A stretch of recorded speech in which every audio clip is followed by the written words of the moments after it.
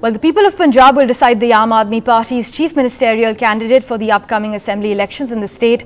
Arvind Kejriwal had said today as he launched a phone number on which he said people can give their suggestions in this regard till the 17th of January. भगवंत मान जी हमारे बहुत प्यारे हैं मेरा छोटा भाई है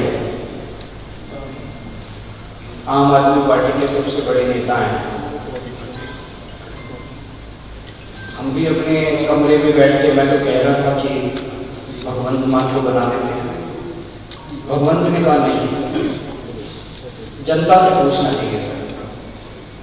आम आदमी पार्टी की सरकार आएगी, उस सरकार में प्रधानमंत्री भी सुरक्षित होंगे और पंजाब के तीन करोड़ लोग भी सुरक्षित होंगे। आज प्रधानमंत्री भी असुरक्षित हैं और पंजाब के तीन करोड़ लोग भी असुरक्षित